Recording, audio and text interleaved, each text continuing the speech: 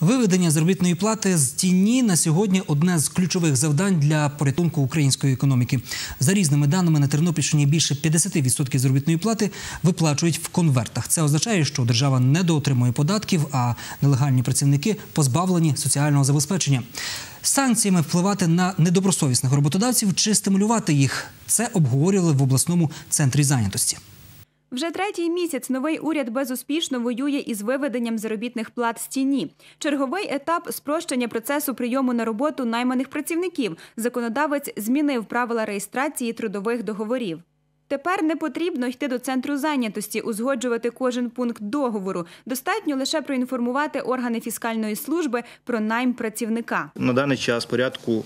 Порядок ще не затверджений Кабінетом міністрів по порядок інформування, але щоб уникнути всяких непорозумінь з нами, з інспекцією праці, ми прийняли рішення і рекомендуємо роботодавцям в довільній формі перед прийняттям працівника на роботу інформувати нас.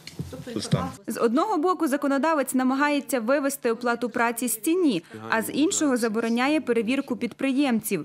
Півроку тому уряд ввів мораторій на перевірки малого та середнього бізнесу.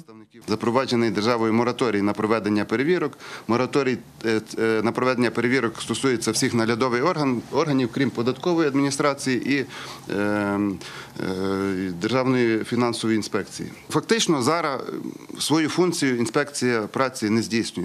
Провести перевірку можна лише за згодою Кабміну чи слідчих органів. Таким чином, державні інспектори праці за рік перевірили легальність працівників лише на трьох підприємствах, де виявили 9 порушень. Для порівняння минулого року таких перевірок було 335.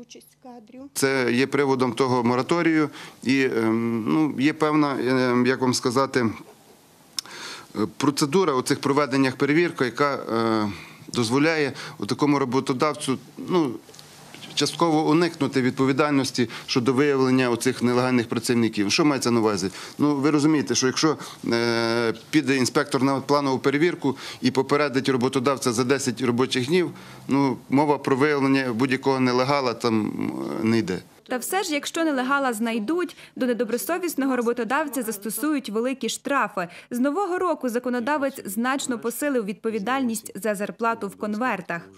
Якщо ми раніше інспектор фіксував чи одне порушення, чи 31, значить, ну фактично один штраф не був і все. Зараз за кожне порушення е, передбачено відповідний штраф.